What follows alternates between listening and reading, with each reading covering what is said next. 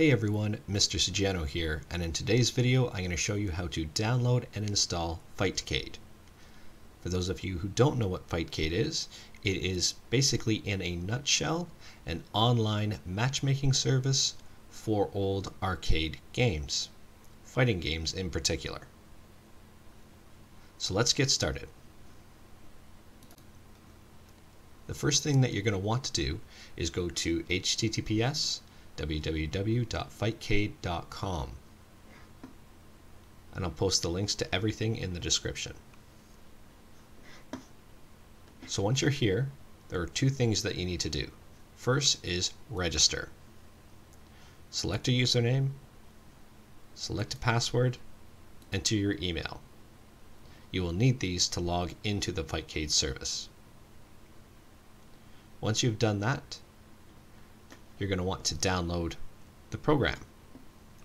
So the beauty of this is it works on three different operating systems, Windows, Macintosh, and Linux. For the purposes of this video, I'm running Windows, so I'm going to download it for Windows. And it is a total of 23 megabytes. So once you've downloaded Fightcade, it should be a zip file. From here, extract the contents into a folder. In this case, I've placed a folder on my desktop and named it FC. So I'm just going to extract it into there.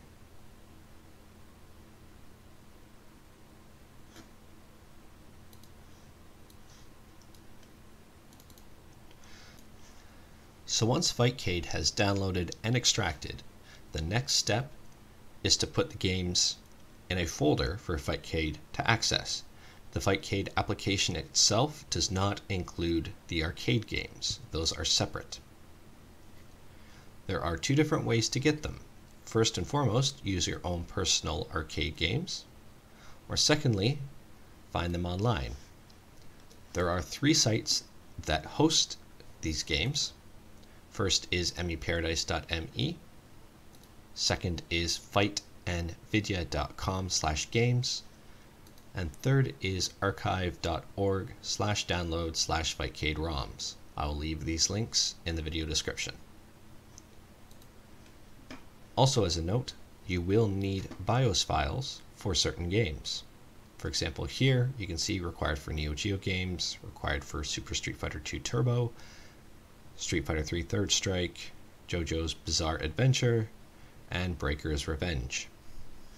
So if you'd like to play any of those games, you will need the BIOS files, which are conveniently located right here, or if you have your own personal BIOS files.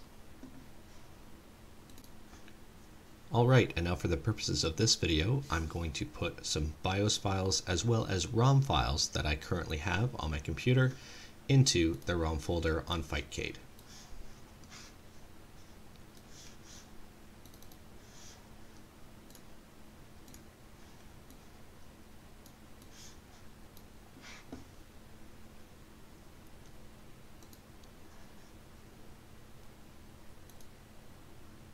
So you can see here, Samurai Shodown, Street Fighter Alpha 3, Street Fighter Third Strike, and so forth. So the next step to do is to open up Fightcade.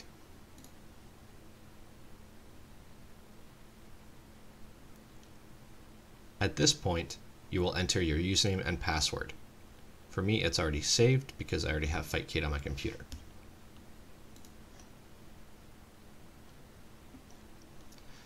Now when it starts up, it'll have the games that you have installed highlighted in white on the left side.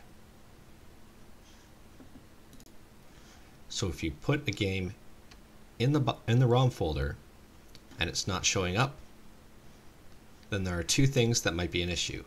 First and foremost, there might be an issue with your ROM file, or secondly, you might not have selected locate ROMs folder. So what you want to do is go to settings, locate ROMs folder, and locate that very folder that you just put the ROMs in. Also a word of advice, in the ROMs folder, you do not want to extract the zip files.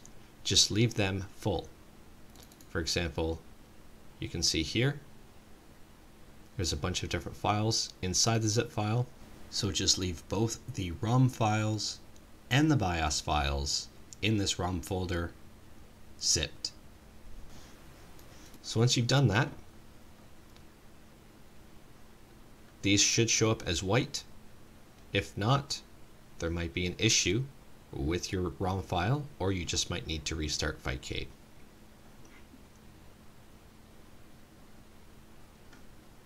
To play a game, all you have to do is go into one of the lobbies of your game.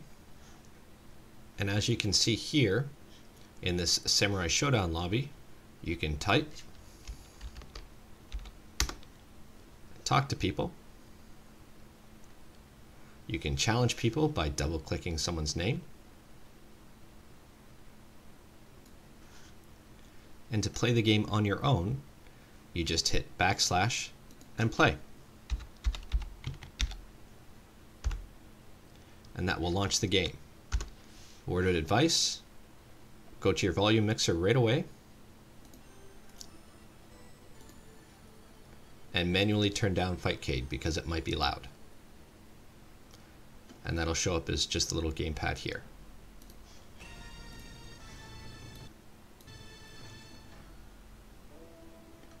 Now within Fightcade, you can change your controls by going into Game, Mapping Game Inputs.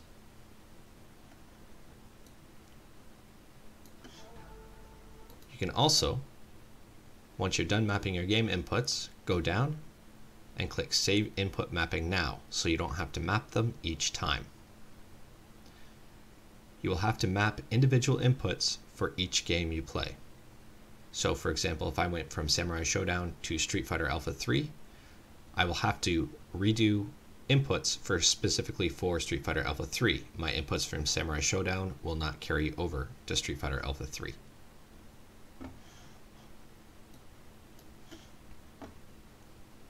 So now I'm going to go into the Street Fighter 2 lobby.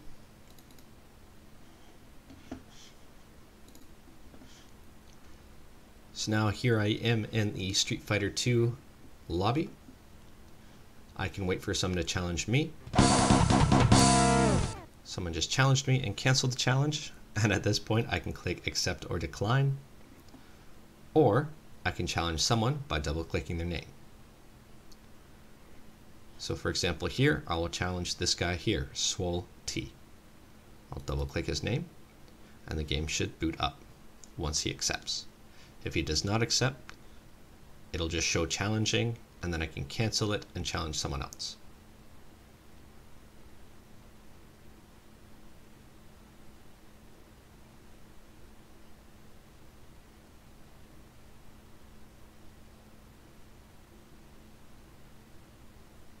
So does.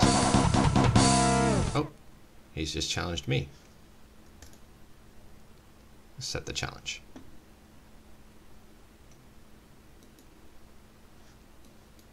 Oh, thanks Windows Firewall. Go back into the game, and here we go.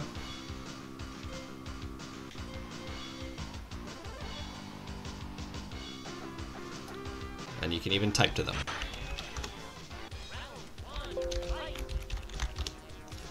And that's all I've got today. Thanks everyone for joining.